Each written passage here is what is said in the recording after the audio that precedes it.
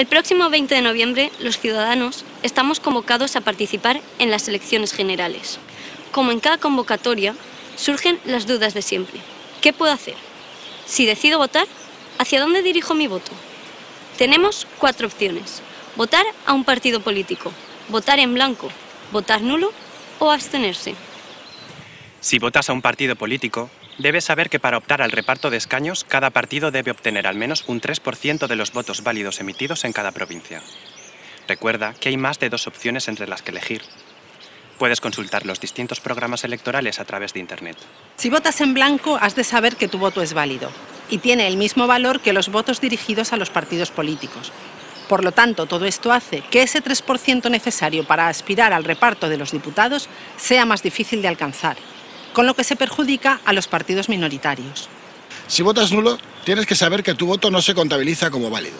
Y si te abstienes, ya sea por dejadez o como símbolo de rechazo al sistema, no se te tiene en cuenta. Así que ninguna de estas dos opciones influye en el panorama representativo. Pero ten en cuenta lo siguiente. En las pasadas elecciones generales, este fue el reparto. El PSOE obtuvo un 32,19% del total del censo electoral.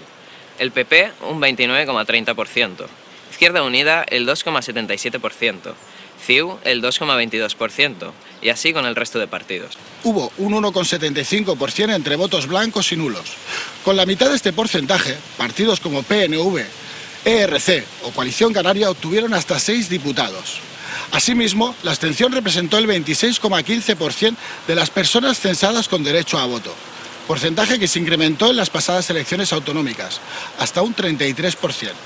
Si esta mayoría de indecisos, desencantados o decepcionados con los partidos mayoritarios hubieran elegido otras opciones, deberías preguntarte, ¿habrían cambiado las cosas? ¿Qué hacer entonces el próximo 20N?